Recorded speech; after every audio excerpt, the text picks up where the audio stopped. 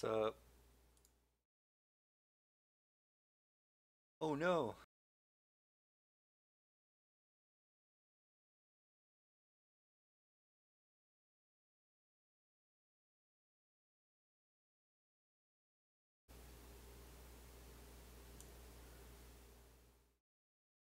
Okay. First things first, turn your fucking mic volume down. At least I do. Um, don't turn it down that much. This is just because I have to hear myself. Can't handle it. It's fucking driving me insane. Um, so first things first, set A1 to MME your main output device, like your headset. Set hardware input 1 to your microphone, also on MME. One sec, gonna light a smoke because my brain's gonna fucking explode.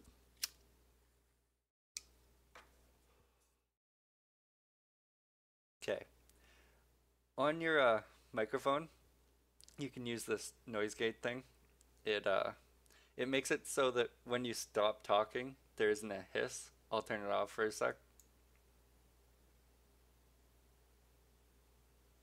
That's with me being like completely silent. And if you put a gate, my, my microphone, it works for about 2.3. I know you can read. Which is very useful in my opinion. Anyway, so you have five inputs and five outputs. One, two, three, four, five. These are all inputs. Inputs into the program, not like anything else. Just picture this window is like its own device out of your computer. Okay, so each of these channels can go to one of the five outputs. The three A outputs are hardware, which means speakers, headphones, etc. The two B outputs are virtual, which means you can use them as a microphone in a game or TeamSpeak or whatever. So, as you can see, B1 is having this shit, this shit right here, sent to it. It also has this sent to it.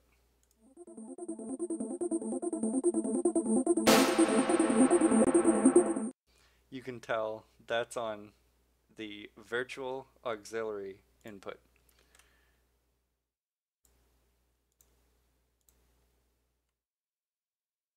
Here I have my Winamp set to go out to that output. You could set that as your default output, but I wouldn't suggest it. It could definitely cause problems. I feel like I'm going to experiment with it, but just forget I even said that. So, this shit goes out into uh, this motherfucker right here, which is actually this. So like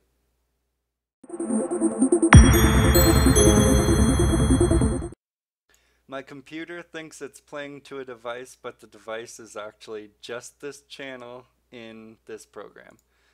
So you can actually send any of these channels, like I said, to any of these outputs. And both of these are going to B1. They're also going to A1, which is my headphones. When I'm actually using this, not to record a video, I have that shit off so that I don't have to hear myself. As you could tell, I was screaming. Anyway, um, so B1, this motherfucker,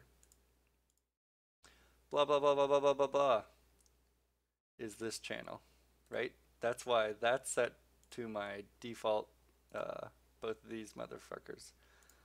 Man, it's hard to fucking talk and hear yourself like a millisecond later. Feels like I have Down syndrome. And my cigarette went out. Um, other things you can do. Uh, obviously, you can adjust the volume of anything and then double click it if you want to set it back to zero. You can also, if you right click here, there's three different panels. They're both like XY controllers. Uh, this one's the coolest. You can add effects to your voice. You could also probably do it to uh, anything else, but it's just weird and I don't know. Fun to fuck around with. When you're done messing around, double click, goes back to zero.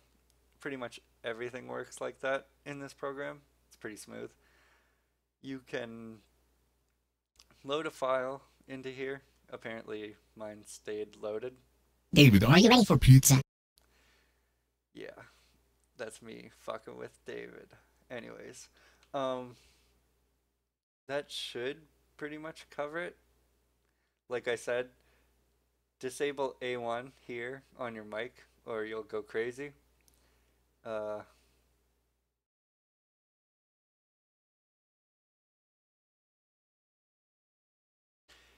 yeah, that pretty much sums it up. You can turn all this shit off because you're not using it anyway.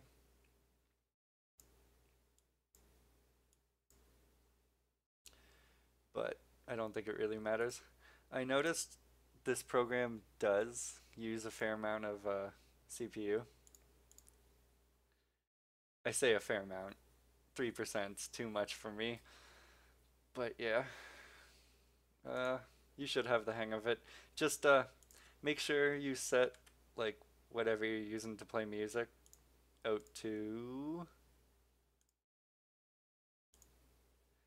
the auxiliary input. You can use the other one. They're the fucking same thing. Just it's so you have two virtual. Uh, yeah. I hope you understand it. If you don't, just ask. All right.